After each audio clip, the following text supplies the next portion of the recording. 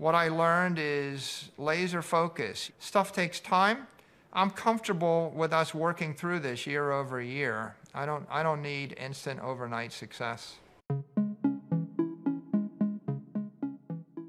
There's a lot of dynamics here. If you look at the entire uh, crypto ecosystem, you, you have, um, you have a, uh, a set of regulatory uncertainty especially regulatory uncertainty around stable coins and crypto tokens uh, and whether or not they're securities. And that creates a little bit of, of anxiety.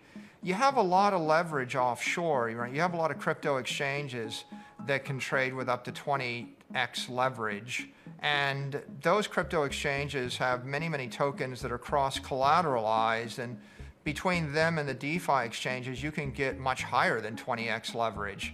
So that's a second source of volatility. The crypto markets are almost designed to encourage volatility. And that creates kind of a love-hate relationship between the, the crypto ecosystem and the Bitcoin hodlers.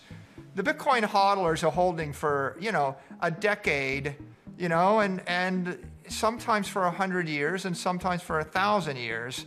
And yet you've got fast money hedge funds that have a tax incentive, a huge amount of leverage, and massive volatility, but you have two totally different investment mentalities here.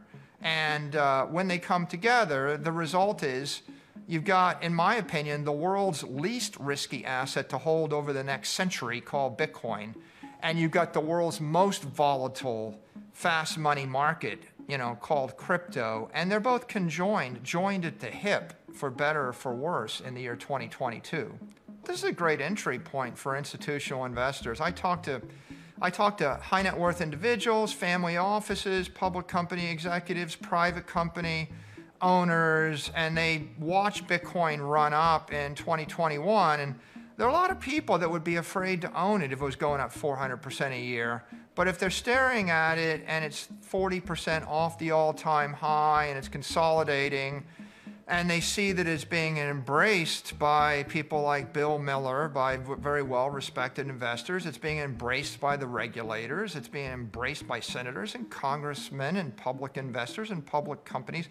They're looking at this as like a good entry point.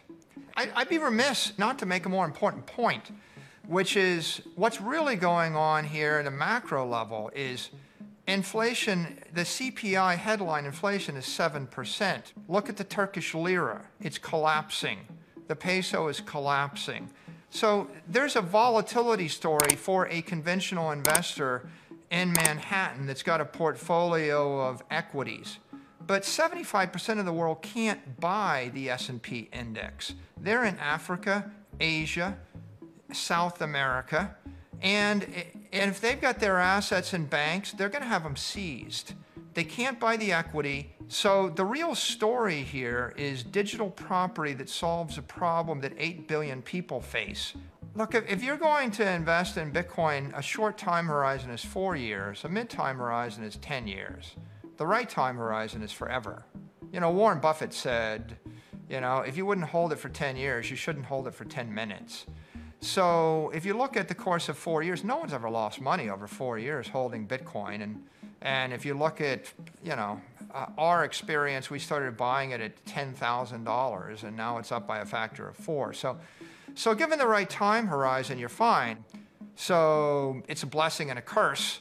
The blessing is it makes it the most exciting, interesting thing in the financial universe everywhere in the world. And, and the curse is it can induce anxiety for people that have a short attention span or, or are focused on a narrow time horizon.